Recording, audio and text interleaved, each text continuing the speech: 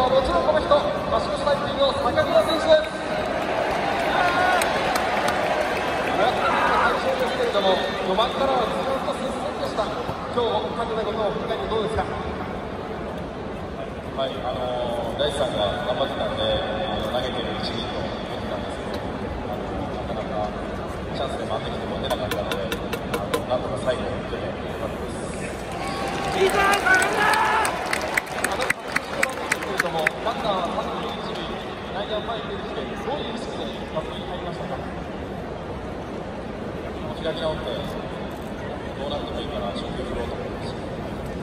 打球が抜けてどうでしたかとても嬉しかったです高倉選手は昨日も同点タイムリーそして今日は勝ち越しと非常にいい働きを見せますねそうですね。あの前の人たちがあの得点圏で回してくれてるんで、今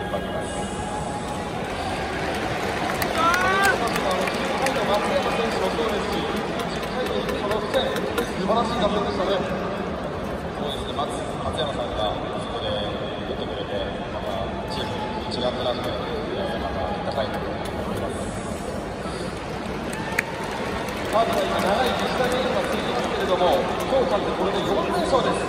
明日も楽しみですねはいあの勝てるように頑張ります。また明日以降も期待しています。はい。